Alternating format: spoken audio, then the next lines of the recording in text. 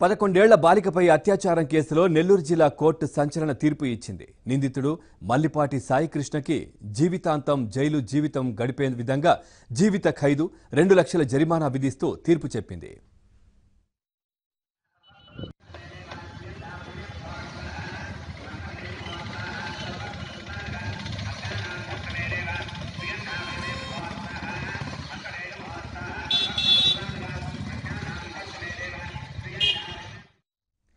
Muthukuru MRO కాలనీకి చెందిన మల్లిపాటి సాయికృష్ణ జులాయిగా తిరుగుతూ ఉండేవాడు.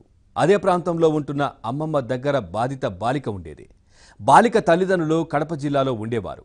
బాధితురాలు స్థానిక కిరాణా కొట్టుకి వచ్చి వెళ్ళే సమయంలో నిందితుడు మాయమాటలు చెప్పి నిర్మానుష్య ప్రాంతానికి తీసుకువెళ్ళి అనేకసార్లు అత్యాచారం చేశాడు. ఎవరికైనా చెబితే చంపుతానంటూ బెదిరించాడు.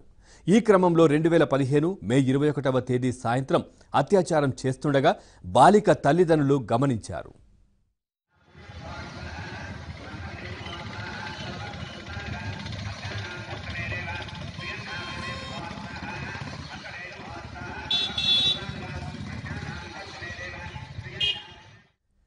తల్లిదండ్రులు పోలీసులకు ఫిర్యాదు చేశారు. పోలీసులు నిందితుడిపై ఫోక్సో యాక్ట్తో పాటు పలు సెక్షన్ల కింద కేసు నమోదు చేశారు.